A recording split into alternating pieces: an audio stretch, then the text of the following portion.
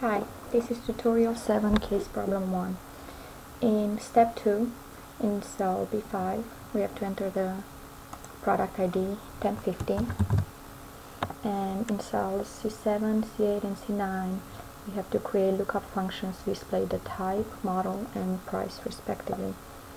So I'm going to click on the function and then go for the lookup it's either up here most recently used or look up in reference. And then it's the last one.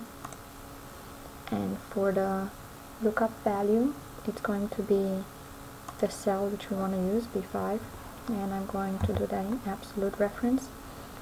And then we are going to look into the product price table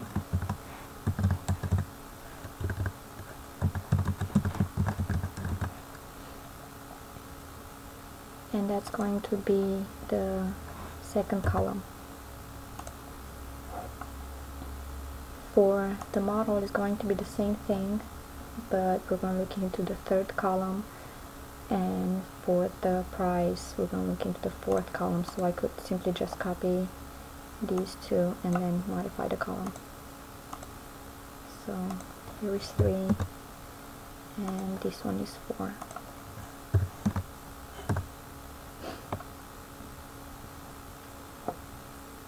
In step 3 we have to modify the formula so that if an incorrect product ID is entered in cell B5 then cells C7, C8 and C9 will display product ID not found. So we have to enter a if error function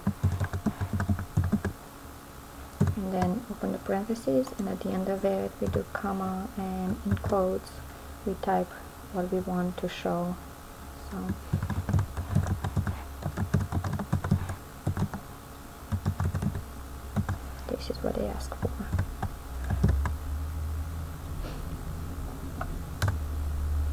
And I'm going to copy it to make it quicker like I did before and then just change the color.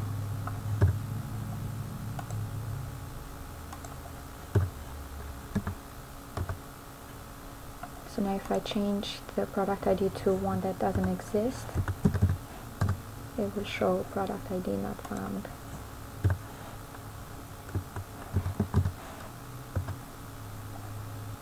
In step 4 we have to enter labels for the shipping options. And they wanted to do it in uh, cells D440 through E42 so I'm going to start by typing the first one standard and express and overnight. And the prices are 9.90 9.50 actually. 14.50 and 1850 and I'm gonna format this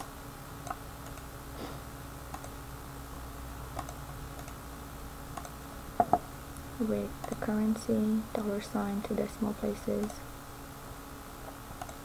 Okay. Now in step 5 we have to um, insert a nested function in cell C17 for the shipping options. So we start with equal and it's going to be many if functions within the same function function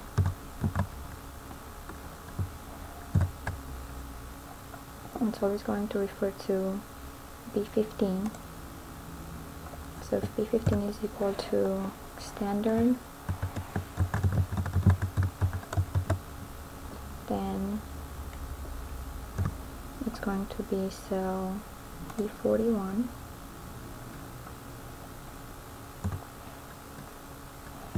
if B15 again. Is expressed.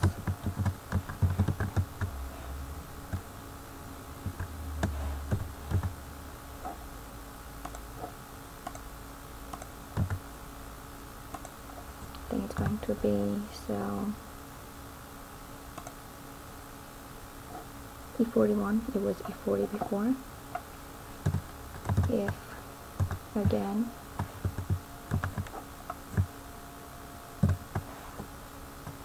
it's overnight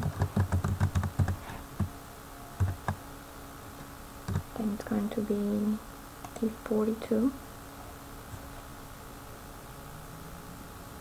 or yes and one last if because they want to make sure that if the shipping option um, cell is blank then the shipping cost will stay blank. So if B15 is blank then blank. And to be safer I add another blank. So what this means is that right here if b15 is blank then blank. Nothing will show up else also blank. So what that means is that anything is typed in other than standard express or overnight nothing will show in shipping cost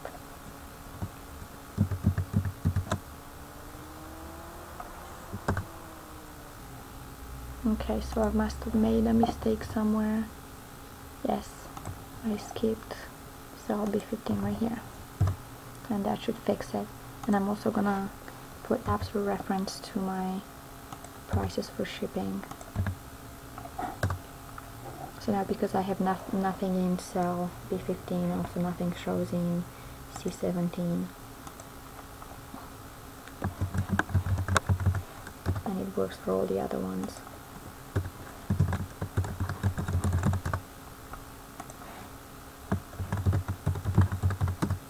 And also if I type in anything else other than these three like anything random it will also stay blank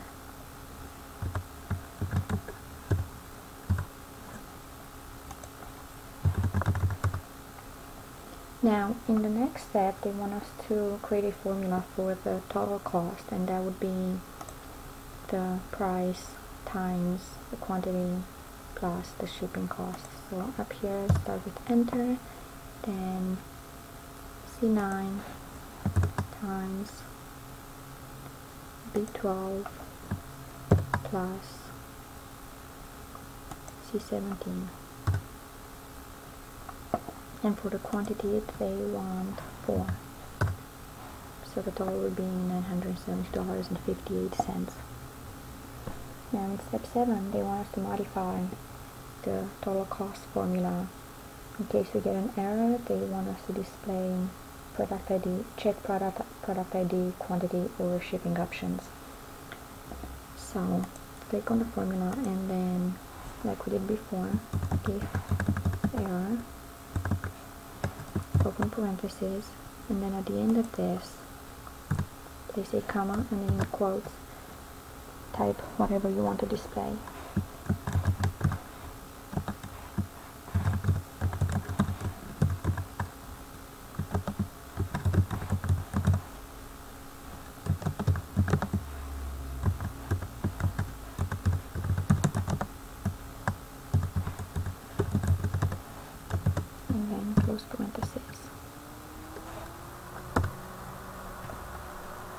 so if there is an error anywhere like if I don't have anything in here that's what it's going to do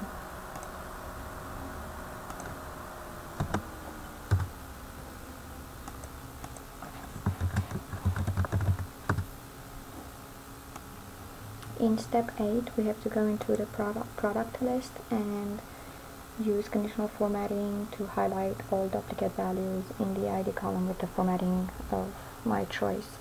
So first I have to highlight what I'm going to conditionally format.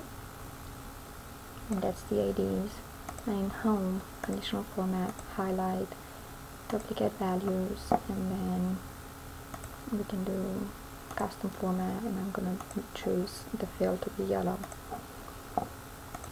And since there are no duplicates then nothing is highlighted in yellow but to check that they want to change the cell A119 to change the ID to 1121 and now since these two are the same they're highlighted in yellow. And now they are not anymore because they're not the same anymore. In step 9 we have to use conditional formatting again to highlight all the prices above 300 so select the range. And then again in conditional formatting highlight circles greater than 300 and I'm gonna make these in green. So anything greater than 300 is showing up with dark green over light green background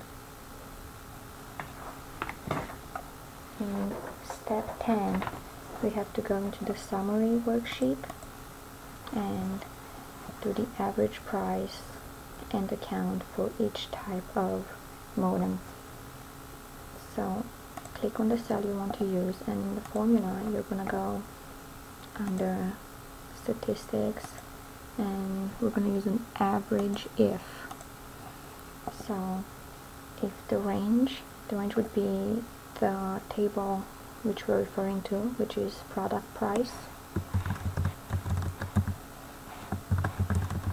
and the column we're referring to is type. Then for criteria, we want 56k desktop and for the average range it's going to be product type. But this time it's going to be price.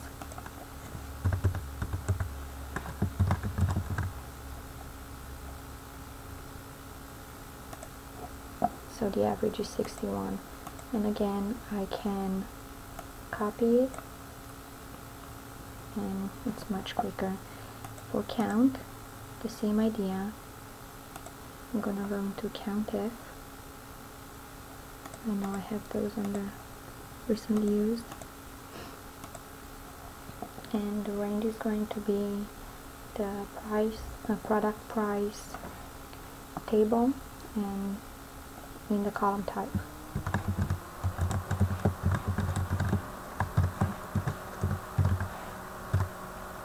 In criteria, again, cell A5. So that's how many 56k desktop modems there are there. And then copy the formula. There are 41 um, ISDN DSL and 33 modem cards and this is the end of this tutorial